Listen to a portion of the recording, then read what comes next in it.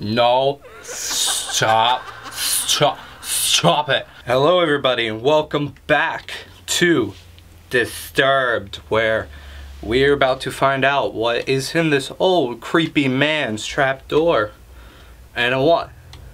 And a two. And a three. You observe the trap door notice a lock keeping it closed. I just completely screwed up everything. Hey, but we have a key. I was kidding. I was just kidding. I know you're all pissed at me, but I'm just too amazing. I know. I know. I'm really. Never mind. I like the hatch, blah, blah, blah. Without thinking, you travel downward. Oh. Hey. How you doing? So you're uh, practicing your uh, your part in a slave woman play, something like that. Uh, walk down the steps there. You notice immediately that there's a woman chained to the wall. She doesn't seem to notice you as you study her. You feel darkness surround you as you stay in this awful place. Uh, let's talk to her. Let's talk to her. Uh, you tremble as you try to form words in your mouth. You there? Let me out of here. The pressure of such a demand makes you freeze. Take a moment to think about the situation before you respond. What, what got you locked up to begin with? You'll never believe me if I've ever told you the, the truth. Something brought me you here. Please have mercy on me. Alright, so I can either free her or decline. I feel like if I free her, she's gonna kill me. but I'm gonna do it anyway. Because I'm a nice person. You approach the woman and lock the shackles. As her arms become free, she moans in pain. Oh, ah, thank you so much. Struggles to regain her strength, but starts to stand up on her own. As she gets up, she turns toward you. I'm gonna die. I know it. I will do you now a favor. Yep. Seemed to be the face of a helpless woman disappears as a horrible image manifests itself before you. You feel the chilling grip of your bone hands lock onto your arms. Energy flees from your body and you fall to your knees. You feel the essence of your life slip away as everything goes black. That's fun. It's unfortunate that your journey ends here. Well, whoop-de-doo. Okay, so this time we're gonna decline. I will not let you go. No, don't go! With nothing else to interact with, you make your way up the stairs.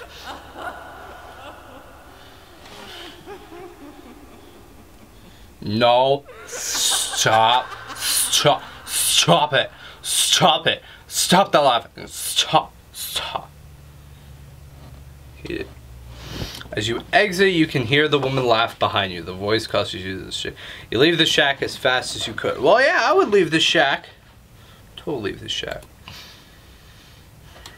Leave the shack and cross the bridge before something else happens. So yeah, I would do that.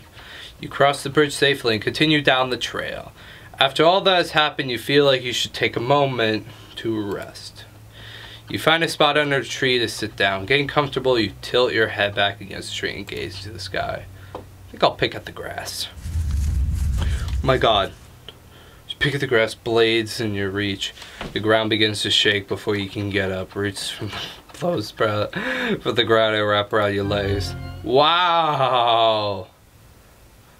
Wow, you turn around and see a large angry face looking behind you.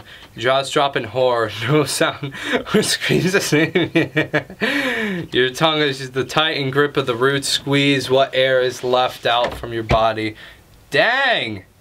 He's an angry tree! Your adventure ends here.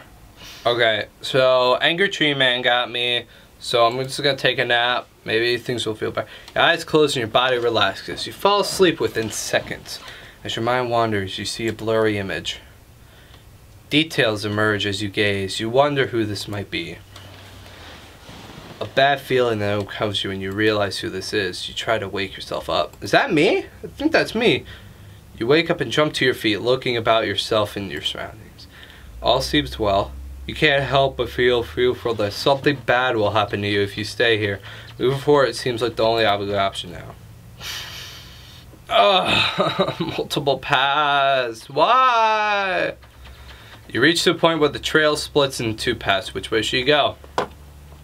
So I can go left or right. I can go left, but it might be the wrong way since right is the right way.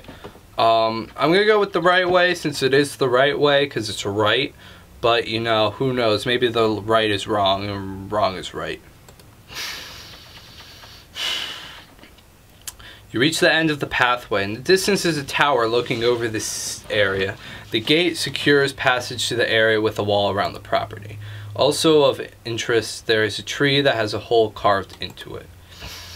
So I can go to the gate, inspect the tree, or go back. I'm gonna inspect the tree. You approach the tree and notice the hole is big enough to fit your hand in it. You look and see something shiny in the hole as if metal. Feeling around with your hand, you find three knobs, one on the right, one centered, and one middle, and one on the left. Why are there knobs? Oh, and open to the gate? Press the knobs. Oh, left. Middle. Right. The knobs lock in place. You wait for a moment, but nothing happens. It must be some sort of combination. Okay, so let's leave the tree and uh, go to the gate. You approach the gate cautiously. Oh wait, I can get in. Oh, that's so weird. So the tree has to be for something else. I'll figure that out in a bit. Standing before the tower, your heart begins to sink. This is no doubt the birthplace of the spreading plague. There is a fountain before you with statues on your right and left. Alright. No, so if this is the birthplace, I'm actually going to go back to the path, see what's on the left quickly. Continue down the path for some time, you come to a stop. You notice that there is some sort of trail that leads through the grass up toward nearby hill. If you had not stopped, you probably would have never noticed. Which way do you go? Continue down the path, follow the trail to the grass. Follow the trail in the grass. So let's go in there. Oh, Excalibur! Following the silver trail, you stumble upon what looks like a grave. Oh, it's a grave. Inspect the grave. You approach the grave and you look at the sword with intrigue. Oh, a ghost. But you can touch the sword, a ghostly figure appears before you. Freeze before the apparition. The sword. May I have it? The blade is cursed. I am bound here to pain of my past. If you desire the sword, free me from it. You slowly motion for the sword. Fool! Only something of pure essence can free me. A rare hope like a flower found in the darkness. I'm just gonna grab the sword. You reach for a sword before you can lay a finger on it, the spear grabs your arm. Sharp pain flows over your body as the flesh melts. Oh! That's the dream I had. Alright. So I'm gonna back away from the sword. You listen to Spectre and leave the sword. Figure fades over here. Okay, so let's just continue on. You pause to see that there's a lake nearby. The trail continues on your right. Inspect the lake. Step near the lake and look down into it. Resting underwater is an orb of some sort sitting on the bottom of the lake. There's something strange about it. It's calling out to you. Okay, let's dive in. I'm gonna drown probably, but you close your eyes and jump into the lake. You open your eyes, see the stone sitting before you. You start to make your way toward it. Large fish comes really quick. Mouse, yeah. You try to leave for the surface, but the fish catches you. You quickly find yourself helpless before the creature. Close your eyes, the giant fish rips your body apart. You die in a very painful death. I'm gonna leave now, it's probably not the time. Uh, let's just continue along the trail. The faint trail comes to an end. There's a collection of stone pillars down the hill. Beyond the hill is a large field of grass. Inspect the stone pillars and move on. Uh, you stand before the large stones, arranged in the shape of a circle. There is a stone, which what appears to be some sort of slot or hole. No doubt about it, something is meant to be placed here. Seeing that you can't do anything, you head back. Oh, okay. So that orb in the water has to go in the middle of that pillar, but I need to figure out how to get that orb first. Uh, so let's just explore the field for right now. You find yourself gazing over a grass field with hills rolling off into the distance. a unicorn! As if a trick upon your eye, you see a unicorn run across the field. It disappears out of sight before you can do anything. Surely the unique powers of the unicorn can help you with your quest, but there is clearly something wrong. If only there was a way to charm it. Alright. So, there's an orb at the bottom of the pond I need to get. There's a sword that I need to get. I need to put the orb in the thing. Man, this is a lot more confusing than I thought it would. Oh, wait, wait, wait, wait, wait, wait, wait. I still have more to explore up here. Uh, follow the trail. Continue down the path. You walk for some time and find an endless field of grass. There's a stone well near the path. Cool. Uh, inspect the well. Peer down the well. Other than the evident water at the bottom, there's a coin resting against the wall of the well. Possibly you feel you should go down and take the coin.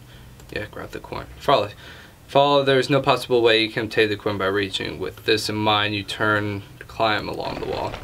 You confuse successful steps down, but your lurk runs out. Misplace your footing. Tumbling about, your body clashed against the stone wall with a single knock on the head. Lose all consciousness of your accident. With a splash, you fall into the water, your body sinks effortless, and you drown without really your adventure ends here.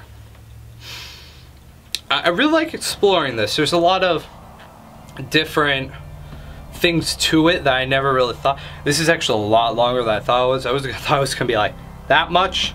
So far it's that much. I think I still have that whole section with all those mini quests I'm guessing I need to explore. And then you have all this other stuff over here with that mansion and the tree and the knobs I still have to figure out. Uh, so that'll be interesting to figure out, but uh, I think I'll end this video here. So thanks everyone for watching. If you like this video, give a big thumbs up. If you like big fish and falling down wells, uh, share this on your Facebook feeds and your Twittery feeds. And if you want, uh, subscribe to my channel for more content. Become part of my big family on YouTube. And until next time, I'll see you in the next video. Bye.